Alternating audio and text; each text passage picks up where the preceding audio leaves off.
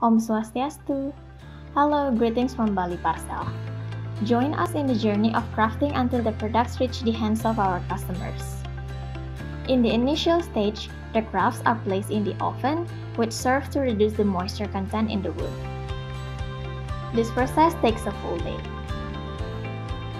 After the oven process is completed, the Bali Parcel team meticulously checks the moisture content of each craft, following our established standard operating procedures. This step ensures the prevention of mold formation. Next, the crafts undergo sanding to smoothen their surfaces, creating a polished finish.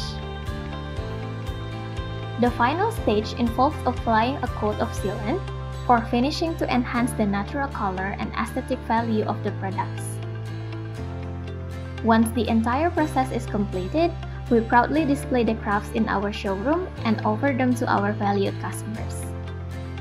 We look forward to welcoming you to our showroom located at Jalan Kengetan, Singakerta, Ubud.